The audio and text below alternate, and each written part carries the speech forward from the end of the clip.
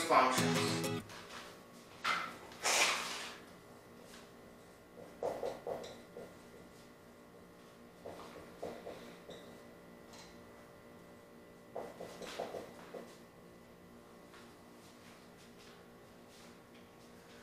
So, so, some functions happen to be continuous and some other are not continuous.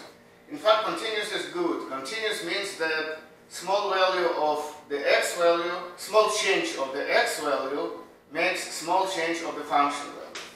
So the idea of continuous function is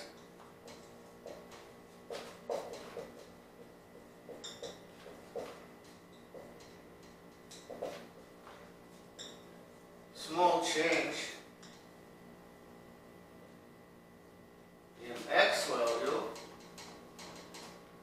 brings about small change in the function value.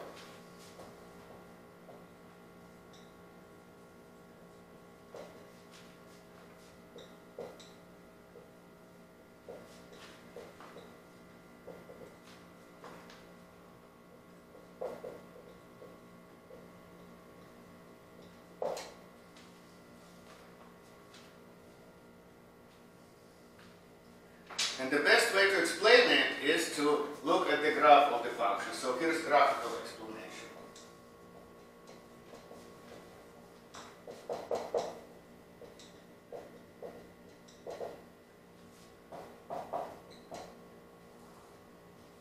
Let's say graph graph of a function is given and it looks like this. So it may look like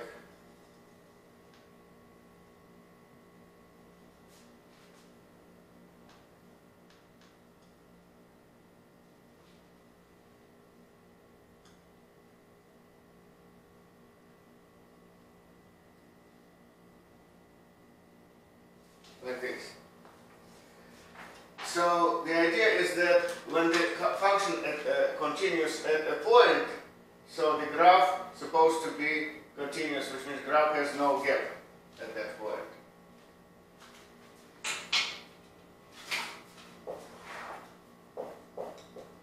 When a function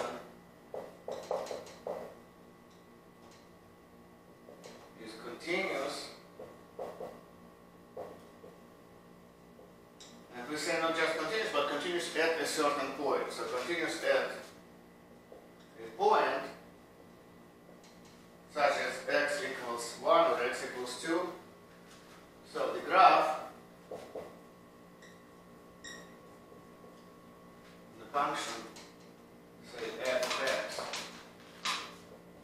is continuous at a point. The graph y equals f of x. Notation of the graph always starts with y equals, because y coordinate means the function value. So this graph has no gap at this point.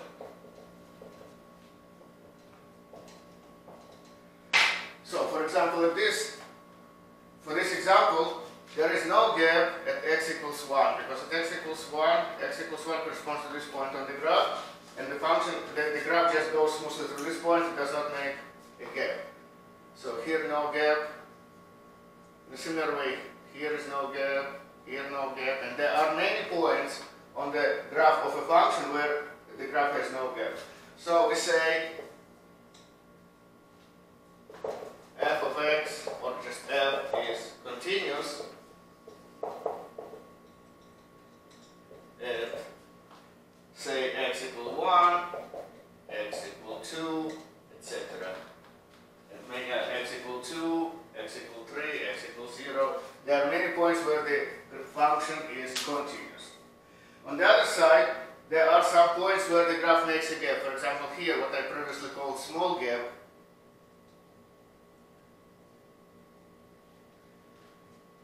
And we say that,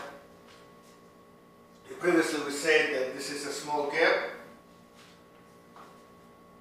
So in order to graph this, in order to draw the graph, we need to lift uh, the pencil or marker from the from the board to draw the other part of the function and then continue drawing. So there is a gap. And, and then there is another gap at x equals 6. So it's the one that I previously called large gap. Now both of them are, are considered gaps. And so, for example, for the large gap, it's more obvious you have to, in order to draw the graph, you can draw it up to here, then you have to lift the marker and then start from here. So you cannot continuously draw the function. So we say the function is not continuous at this point. So there is a gap at x equals 4 and another gap at x equals 6. So f of x is not continuous. In one word it's called discontinuous.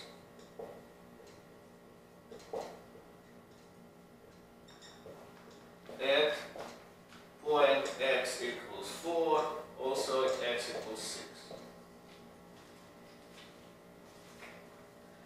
Now, there may be other situations with graph. For example, the graph may make sharp turn like this, but sharp turn like this doesn't break continuity, so we still consider it continuous because you can still draw it like this without lifting your marker and there is no gap at this point. So this point is still considered no gap and therefore this is a point of continuity where, where the function is continuous.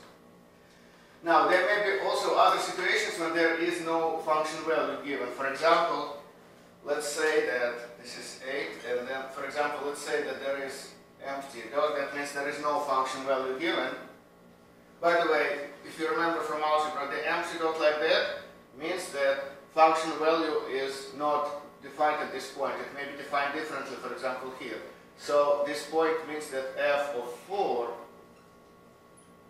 is not f of 4 is equal to whatever this value is for example 1 2 3 so f of 4 equals 3. And this kind of notation means that f of 8 is undefined. Does not exist. Or undefined. Now, regarding continuity, whenever there is a gap, like here or like here, we say that the function is discontinuous at that point.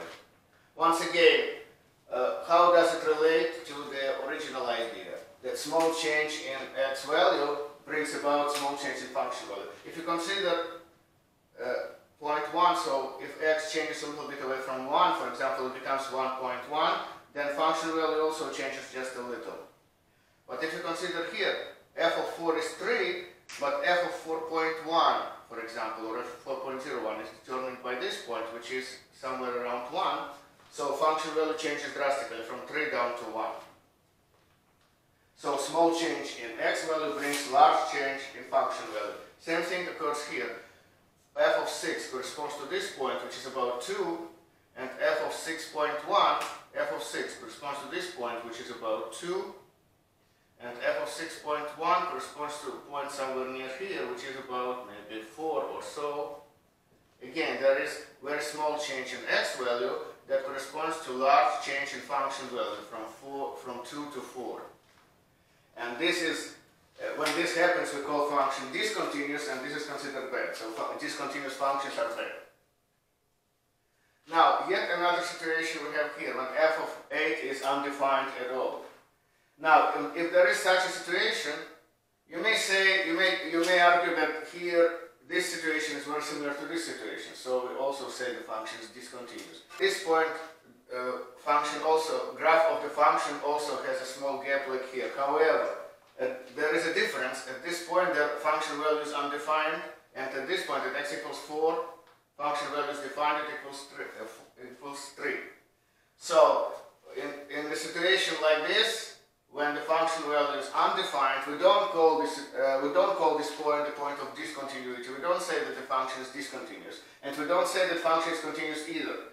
So such a point has different names in different math books. Sometimes it's called point a singular point. So sometimes we call it singular point because the function is defined for nearby values but not exactly at that value. And singular point is not considered point of either continuity or discontinuity.